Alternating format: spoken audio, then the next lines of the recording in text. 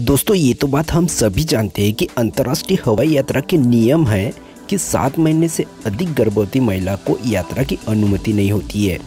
लेकिन हम यह भी जानते हैं कि दुनिया में कई बार इस तरह की घटनाएँ भी हो चुकी है, जबकि हवा में उड़ती हुई फ़्लाइट के अंदर सफलतापूर्वक डिलीवरी कराई गई है।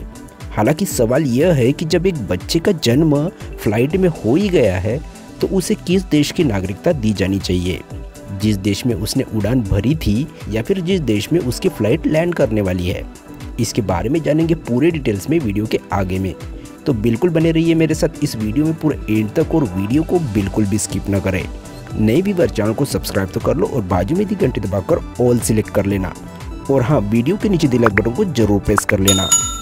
दोस्तों, जानकारी के लिए आपको बता दें कि इस सवाल का जवाब जितनी गहराई से मैंने खोजने की कोशिश की, उतना ही वह मुश्किल होता गया।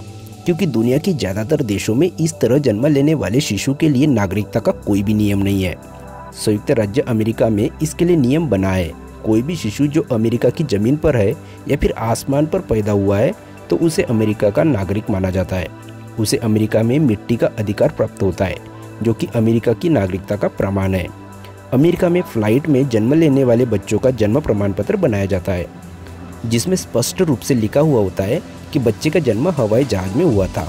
व्यावहारिक तौर पर नवजात शिशु के पिता जिस देश में निवास करते हैं, ऐसा होने पर अपने देश वापस लौट जाते हैं और वहाँ की किसी अस्पताल से उसका जन्म प्रमाण पत्र निकलवा लेते हैं, जिस तरह ज़्यादातर देशों में किया जाता है। लेकिन फिर भी एक प्रॉब्लम है जो आज तक सॉल्व नहीं हो पाई है। वह यह है कि आखिर हवाई जहाज़ में जन्म लेने वाले बच्चों की जन्म कुंडली को कैसे बनवाया जाएगा। तो दोस्तों, वीडियो कैसी लगी इसके बारे में कमेंट करके हमें ज़रूर बताइए। वीडियो पसंद आया होगा तो इसे लाइक ज़रूर करें। अगर आप हमारे चैनल पर नए होंगे तो चैनल को सब्सक्राइब ज़रूर कर लें। और स्क्रीन पर जो तो वीडियो दिख रहे हैं, उनको भी आप ज़रूर वॉच कीजिए।